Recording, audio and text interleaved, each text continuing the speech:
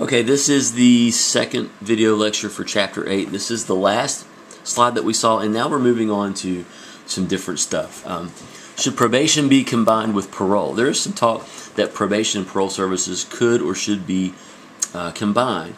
And there are differences between probation and parole, and we listed those on the board. Uh, with parole, essentially, or rather, let's start with probation. With, with probation, you're essentially looking at some sort of alternative sentencing before or in lieu of or instead of incarceration or in addition to. It's generally something that's happening before the incarceration. Parole, you're looking at a system um, or a process where things are happening after the inmate has served time. So if someone serves 10 years or 15 years or 20 years on, on an offense, a parole board can come in and say, well, we know that you have more time to serve, but we think you've done well in prison, so we're going to let you out, but you have to do drug classes, you have to get a job, you have to do blah, blah, blah, etc. And if they abide by the conditions of parole, then they can remain free instead of having to serve the remainder of that sentence. So probation is before and parole is after, essentially. Um, we're also talking about a difference in criminal lifestyle. Those who are sentenced to probation are generally um, not as aggressive offenders. They tend not to be sex offenders. You're talking more about property crimes, uh, drug offenses, things of that sort. With parole, you're looking at people who are, are have done more serious, have committed more serious offenses, such as murder or sexual offenses, and they've served a lot of time for that. So there are differences between the inmates. The parole, the paroled inmate is is more aggressive, is more uh, maybe even considered to be more dangerous, but they've also served a lot of time, so maybe they've aged out some as well. So there are differences between the two types of offenders. Probationers are less ingrained and involved in the criminal lifestyle, whereas the parolee will be because he or she has not only committed serious crimes, but they've done a lot of time in prison on top of that, where that criminal lifestyle is ingrained within the subculture of the prison, likely. Um, there's no single best way to organize probation or parole. Now, the pre-sentence investigation report. This is really super important, uh, especially for um, professionals like me, being a psychologist working within the criminal justice system. Um, we interview inmates, uh, psychologists, social workers, uh, correctional counselors, and staff. We have to compile information, and the psychologists in this state have to do what's called a report or an evaluation on every inmate who comes through the facility. And a lot of what we depend upon for this information is the pre-sentence investigation report. It's a summary report of a convicted offender's background, usually compiled by a probation officer. Um, it helps the judge to decide on an appropriate sentence. It also helps mental health professionals and other prison and correctional um, staff to compile information and to make decisions about classification and programming for the inmate within the system.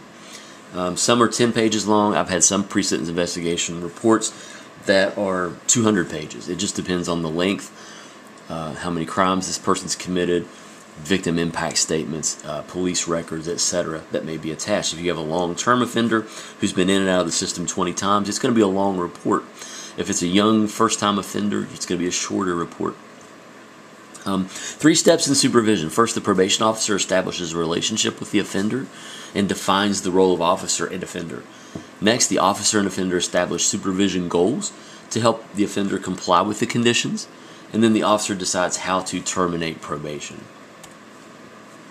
The investigative function uh, helps judges to select an appropriate sentence. Probation officers will actually make recommendations for sentencing, for how the sentences w- will be run if there are multiple offenses, uh, or if the inmate should be incarcerated at all. Sometimes probation officers will recommend what's called a diagnostic report. Um, you don't really have to know what that means, but sometimes probation officers will recommend more intensive a more intensive psychological evaluation to help the judge determine whether this offender should be incarcerated or not, uh, as opposed to being you know offered probation or something or drug court or something like that. It helps with classification decisions in terms of um, in terms of placing the inmates appropriately within the system in terms of classes and programming. Uh, it's also a document. I'm almost kind of pick and choose here what we're going to cover, but you'll have all these in your notes. Document it's a document for systematic research. Uh, if we need to know something about an offender, we can pull up this document and we can look about uh, and look at it for information about family history, about age, about relatives, etc. It's also important for building a relationship between the probation officer and the offender. The purpose and content of the PSI report verification, first of all. The PSI information is cross checked with other sources of information, like police reports, for example, uh, social history information that's acquired by correctional staff at various facilities. Objectivity, avoiding vague conclusions about the case. Uh, we want to be able to make good decisions. Uh, judges, probation officers, psychologists, case managers, we want to make good decisions about the cases. And then we have what's also called a victim impact statement. Some some PSIs will include statements from victims basically stating how they were harmed physically, sexually, psychologically, financially, etc., by the perpetration of this offense. Some reports have victim impact statements, others do not. It just depends. But those are certainly permitted within the report, and we see those as correctional staff as well. Uh, recommendations. Controversial. Recommendations are controversial because someone without authority, such as a probation officer or a psychologist, such as myself, is suggesting what sentence could be appropriate. Um, I've, I've mentioned this in class before, but one of the one of the heaviest things that I do with my job as a prison psychologist is to make recommendations to judges about sentencing. I have no power or authority to sentence anybody, and I would not want that power or authority. But sometimes judges will ask us to evaluate an inmate before he or she makes a decision about incarceration or not, and asks our opinion. What do you think? Um, and it's tough because sometimes you've got inmates who may be low functioning, or maybe they've committed a, a crime, but maybe they were just in the wrong place at the wrong time. Uh, maybe they have no legal history. Maybe they have a good family support system. They have factors that would support asserting them for probation as a term, uh, as opposed to incarceration. Others not so much. So it's, it's really kind of tricky, and we really count on these records, especially the PSI, to kind of help us make those recommendations to judges. Congruence of the pre-sentence investigation report and sentences range from 70 to 90%. So judges generally go along with what the professionals recommend. Not always, but generally. So the big question is whether judges follow these, these suggestions or the experience of officers, which will allow them to come up with recommendations that the judges select. Uh, disclosure. Uh, Williams versus New York, 1949. A judge imposed a death sentence on the basis of evidence in a PSI, pre-sentence investigation report, uh, despite a jury's disclosure. And we'll talk about this. Cleansing. Confidential comments from private citizens that might endanger the citizens.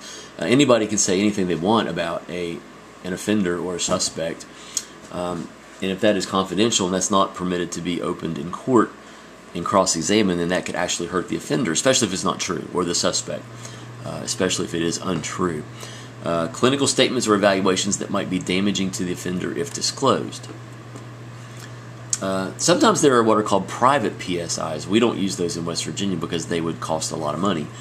Um, and most states don't use, some can, but some don't. If, if an offender has a lot of money, and that generally does not happen, then he or she may pay someone to do a their own pre-sentence investigation report to be submitted to the judge. We, we can only assume that that would be a biased document. If if I'm an offender and I'm paying someone to put together a PSI and I'm going to have access to seeing that, I'm going to want it to look pretty good for me. So that's another reason why they're not used quite as much, or if at all. Uh, private investigative firms contract with the convicted offenders to conduct comprehensive background checks uh, at a price to the offender and suggest to judges creative sentencing options as an alternative to incarceration. The supervision function. The officer, there's role conflict because the probation or parole, well, the, proba- the probation officer uh, is enforcing the law or the standards set forth by the judge, but they're also in a role where they're supposed to be helping or aiding the offender. They're supposed to be helping the offender find programs, offering encouragement, etc. So there's a there's a role conflict that makes it difficult for probation officers. Uh, power. This is the ability to force a person to do something that they don't want to do. Uh, probation officers and judges have the power to to force offenders to to do what they want them to do. Authority. This is the ability to influence a person's actions in a desired direction without resorting to force. Uh, you think of a, an authority figure in your life, it may be a boss, maybe a teacher, it may be a parent when you were younger. Um, these are people who influence your actions without having to force you to do it necessarily. Um, typically, the person who exercises the power in the relationship uh, lacks the authority. Then you have, we'll call this the last slide for, for part two motivational interviewing. This is something that is done and used extensively in the West Virginia Division of Corrections. This is a method for increasing the effectiveness of correctional treatment by having a probation officer interact with the client in ways that promote the client's stake in the change process. So instead of just asking questions about where you're born, what's your family like, how many times have you been arrested, when did you graduate from high school, now we're asking more questions that kind of get to the heart of how the offender functions. Like, do you have any drug problems? Have you had treatment? What do you think about drug treatment? What do you think about your mental wellness? Have you had mental health treatment? How do you feel about medications that you've taken? How, what do you feel like you need to do to change? So we're now asking the offender questions, specific questions, and questions in a way that promote offenders wanting to make positive changes in their life. And let's call that the end of the second video. Thanks.